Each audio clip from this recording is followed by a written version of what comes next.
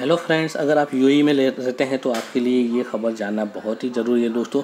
बहुत समय से समाचार चल रहा है, आप लोग देख भी रहे होंगे सोशल मीडिया पे।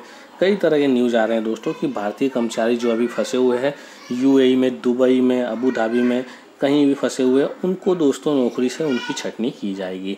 ऐसा समाचार आ रहे थे, कई जगह से आ रहे थे दोस्तों, और आप लोगों ने कई उसके लिंक भी शेयर करिए होंगे, कई जगह ऑफिशियल भी देखा होगा, कई जगह अनऑफिशियल भी देखा होगा, कई जगह कुछ न्यूज़ की कटिंग देखी होगी, कहीं जगह कुछ देखा होगा। तो आप लोगों के दिल में चिंता का विषय रहा होगा दोस्तों। आप लोग उसकी वजह से काफ़ी बेचैन रहे होंगे कि अब हमारा क्या होगा। तो दोस्तों, मैं आपके लिए आज लेकर आया हूँ। आज की न्यूज़ है दोस्तों।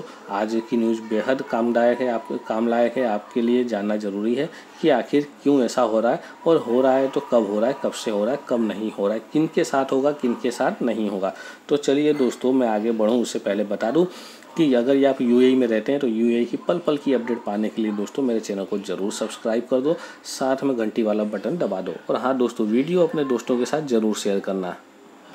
तो दोस्तों, ये खबर छपी है आज के न्यूज़पेपर में, दुबई की न्यूज़पेपर में, अरब अमीरात की न्यूज़पेपर में। यहाँ पे क्लियर कर लिखा हुआ है, दुबई संयुक्त अरब अमीरात एपी मध्य पूर्व के सबसे बड़े निजी नियोक्ताओं में वेतन में कटौती या इसके चौवालीस हज़ार श्रमिकों में से किसी की भी योजना नहीं है, लेकिन महामारी खाद्य सुरक्षा, खुदरा और पर्यटन के बारे में अपनी सोच बदल रही है।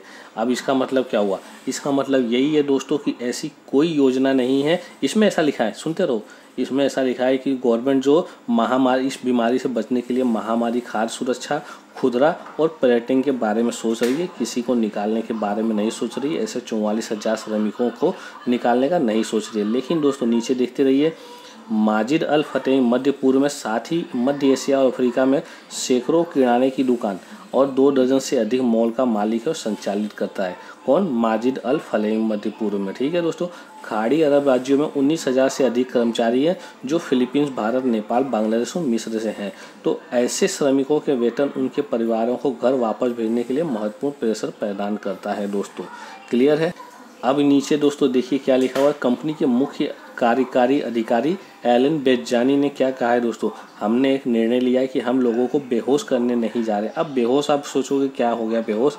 बेहोश मतलब इनएक्टिव मतलब निकालने नहीं जा रहे। और हम मूल वेतन को छू नहीं सकते मतलब जो उनकी पगार है उनको छू नहीं सकते। इसका मतलब है कि कठिन समय के दौरान यह सुनिश्चित करने के लिए कि हम एक परिवार हैं और हम अपने लोगों के लिए साथ सर्वोत्तम तरीके से काम करते हैं।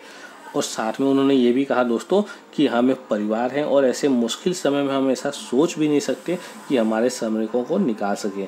तो ऐसा कोई वेतन कटौती या छटनी नहीं है।